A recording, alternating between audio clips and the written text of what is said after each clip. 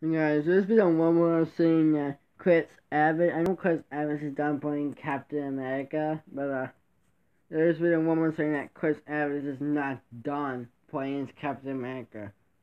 I don't know, uh, I think this is might be, I'm happy about that, because, uh, because Chris Evans is the best Captain America there is.